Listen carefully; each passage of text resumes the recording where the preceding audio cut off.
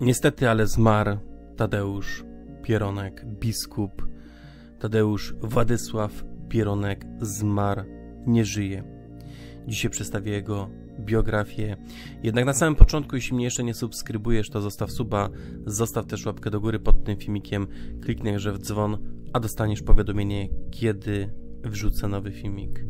No właśnie, Tadeusz Pieronek, biskup Urodził się 24 października 1934 roku w Radzie Chowach, a zmarł 27 grudnia 2018 roku w Krakowie. Polski duchowny, rzymskokatolicki kanonista, profesor nauk prawnych, biskup pomocniczy sosnowiecki w latach od 1992 roku do 1998. Sekretarz Generalny Konferencji Episkopatu Polski w latach od 1993 roku do 1998. Rektor Papieskiej Akademii Teologicznej w Krakowie w latach od 1998 do 2004 roku. No i teraz y, biografia e, tak naprawdę biskupa. E, życiorys. Urodził się 24 października 1934 roku w, Radziechowi, w Radziechowach na Żywiecczyźnie. Kształcił się w liceum ogólnokształcącym w Żywcu, gdzie w 1951 roku uzyskał świadectwo dojrzałości. W latach od 1951 roku do 1956 odbył for formację kapłańską w Metropolitalnym Wyższym Seminarium Duchowym w Krakowie. Do 1954 roku studiował jednocześnie na Wydziale Teologicznym Uniwersytetu Jagiellońskiego. Wtedy to wydział został usunięty ze struktur uniwersytetu.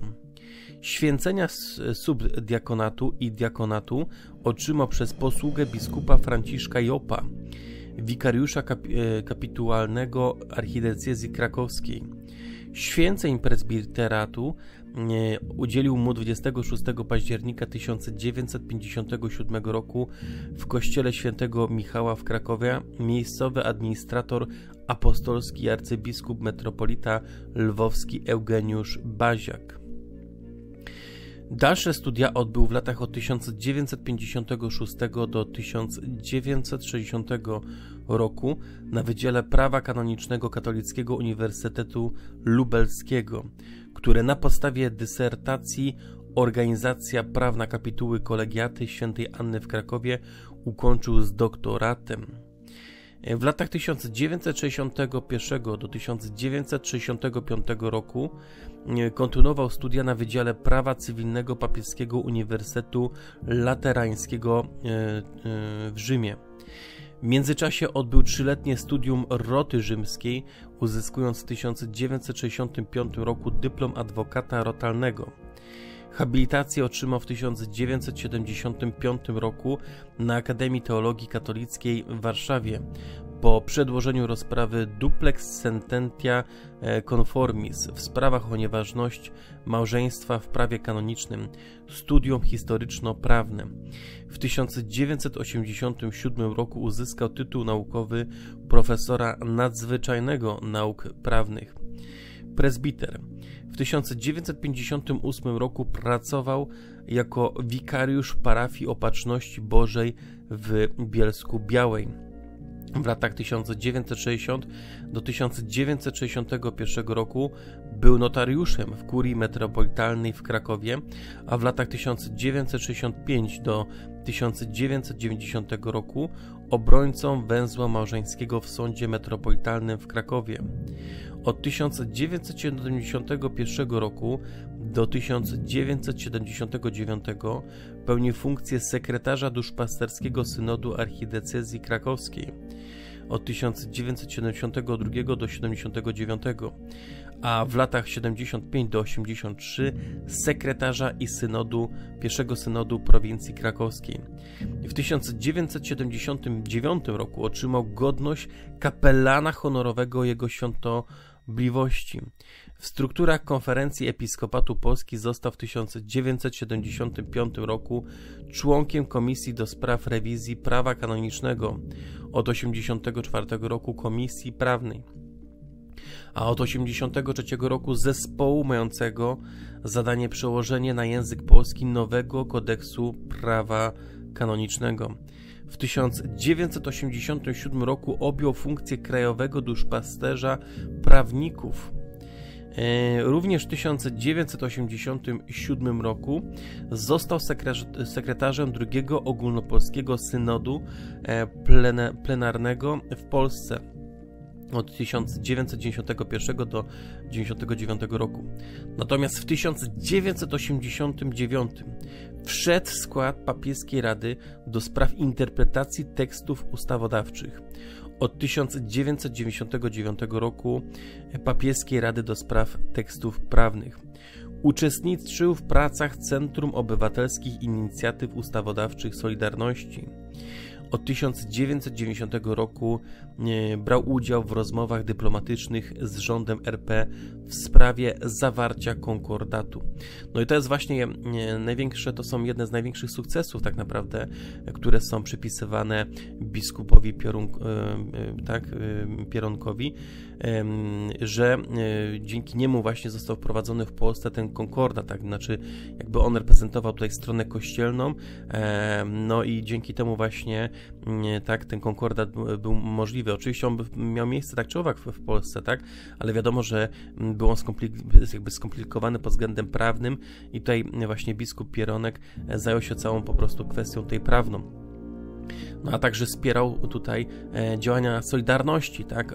Ja zawsze mówię o tym, że e, no, w czasach tak naprawdę komunistycznych ludzie wspierali Solidarność na swój sposób, tak?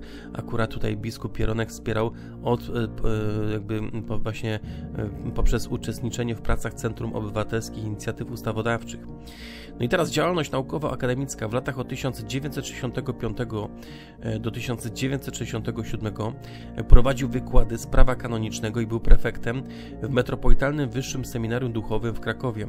W 1965 roku podjął wykłady i seminarium z prawa kanonicznego na papieskim Wydziale Teologicznym w Krakowie. Od 1981 roku e, Papieskiej Akademii Teologicznej. Tamże w 1968 roku objął stanowisko zastępcy profesora, a w 76 docenta.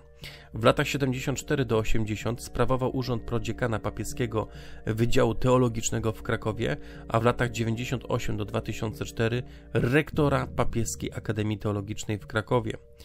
Ponadto od 1967 roku do 1976 był zatrudniony jako adiunkt na Wydziale Prawa Kanonicznego Akademii Teologii Katolickiej w Warszawie, a w 1985 roku prowadził gościnnie wykłady na Wydziale Prawa Kanonicznego Akademii Świętego Krzyża w Rzymie. W 1965 roku w 1965 roku wszedł w skład Polskiego Towarzystwa Teologicznego, w którym to gremium w latach 1966 do 1968 roku pełni funkcję sekretarza generalnego. W 1990 roku został członkiem, założycielem Stowarzyszenia Kanonistów Polskich oraz członkiem Consilio Direttivo Międzynarodowego Stowarzyszenia dla Rozwoju Prawa Kanonicznego. Wszedł w skład Polskiej Akademii Nauk i Polskiej Akademii Umiejętności. Należał do Rady Fundacji imienia Stefana Batorego. Został członkiem kolegiów redakcyjnych periodyków Prawo Kanoniczne, Collectanea Teologica, Analekta Krakowiencja, a także Rady Wydawniczej ATK. 25 marca 1992 roku wraz z reorganizacją podziału administracyjnego Kościoła w Polsce Jan Paweł II mianował go biskupem pomocniczym nowo utworzonej diecezji sosnowieckiej, przydzielił mu stolicę tytularną e, ku Cufruta czy Kufruta. Święcenie biskupie otrzymał 26 kwietnia 1992 roku w Bazylice Świętego Piotra w Rzymie. Udzielił mu ich Jan Paweł II, któremu asystował kardynał Angelo Sodano, Angelo Sodano, sekretarz stanu Stolicy Apostolskiej kardynał Franciszek Macharski, arcybiskup metropolita krakowski, jako dewizę biskupią przyjął słowa in veritate, w prawdzie. W diecezji objął urząd wikariusza generalnego. 31 sierpnia 1998 roku Jan Paweł II przyjął jego rezygnację z obowiązków biskupa pomocniczego diecezji sosnowieckiej. Został rezydentem archidiecezji krakowskiej, gdzie objął funkcję